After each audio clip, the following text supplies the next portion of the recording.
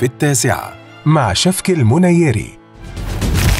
الفنان نضال الشافعي يكشف كواليس مشاركته في مسلسل رسالة الإمام في رمضان 2023 النهارده نقدر نعتبره يوم الحقيقة. ويحكي أسرار رحلته مع الفن من كواليس مسارح الدولة إلى السينما والتلفزيون. ما هو يا بخت اللي ليه صاحب جدع واللي ملوش يعوض عليه ربنا. ويروي لأول مرة تفاصيل رحلة المرض بين الألم والأمل.